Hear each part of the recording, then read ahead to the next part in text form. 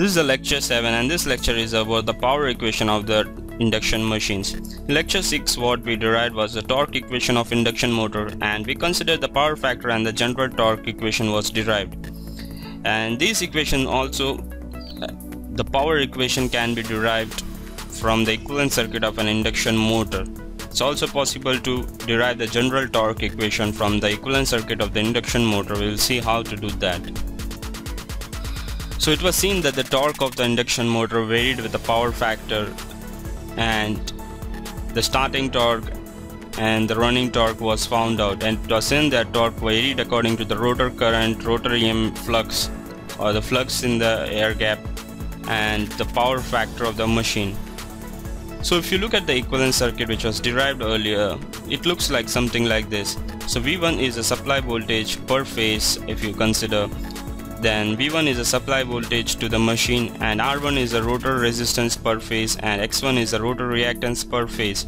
And I the, you can see the magnetic circuit carrying current I0 and RC is the core loss part and XM is the reactance for the magnetizing component or equivalent to the component which produces flux in the machine or the field.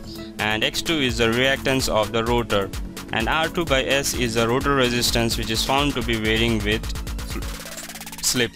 So the power which is transferred across the air gap or the power which was produced in the stator and which is now available at the rotor can be written as I2 square R2 by S. That is essentially I2 square into R2 by S. That is a rotor current divided by the rotor resistance divided by slip per phase and you multiply it into phase that is a number of phase and it will be 3 for a 3 phase machine. Now the copper losses which will happen in the rotor of the induction machine can be written as per into phase NPH into I2 square divided by R2. I2 is the rotor current and R2 is the rotor reactant resistance. So some amount of power has been transferred from the stator and it is available at the rotor and as the rotor will carry current it will have Cu losses or copper losses. So the total power which will be developed in the induction machine or the rotor which is available at the shaft for doing useful work or the mechanical power developed in the machine can be written as the power across the air gap minus power across the rotor. And the power across the air gap as derived previously minus the power across power in the loss in the rotor that is I square R loss in the rotor will give the total mechanical power output of an induction machine. That is NPH is a number of phase. I square I2 square is a rotor current into R2 into 1 minus S divided by S. That is the amount of power which is developed or which is output of the rotor and although the power output which is available at the shaft will be slightly less than this owing to the consideration of the friction and windage losses Again the mechanical power which is available at the induction machine can be written as 1 minus S into power of the gap that is the output mechanical power and the power of the rotor can be written as S into power of the gap. So that is the output mechanical power and the Cu losses happening in the induction machine which can be written in the form of slip. So it is seen that as the slip will be higher the power will be less for the induction machine. So again the part for the mechanical power output can be written in the form of rotor resistance as R2 into 1 minus S divided by S. So it is seen that it is possible to bring the power which is produced in the mechanical as a mechanical output into the rotor equivalent circuit and it varies with slip and at a higher slip the power output of the equivalent machine will be or the induction machine will be less which is very right owing to the fact that when the slip will be less the motor will be rotating at very low speed.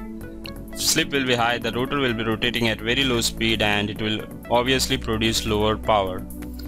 So that's how you can derive the equivalent circuit of an induction motor considering the power output or the mechanical power produced by the machine so what we have seen is that of the total power delivered across the air gap to the rotor, the fraction 1 minus s is converted to mechanical power and the fraction is depicted as I square R loss or copper loss in the rotor conductors.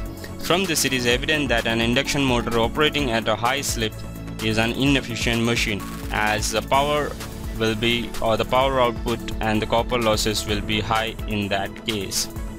Power output will be less and the copper losses will be high in that case as the slip is high for the machine.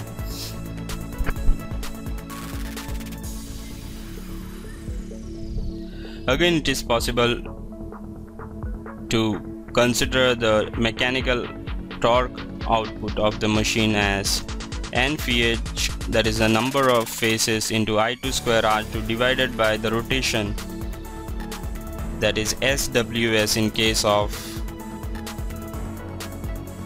the induction machine. The WS can be written as 2 pi ns that is a mechanical rotation angle rotation of an electrical machine. That's all if you like this video please do subscribe like and comment.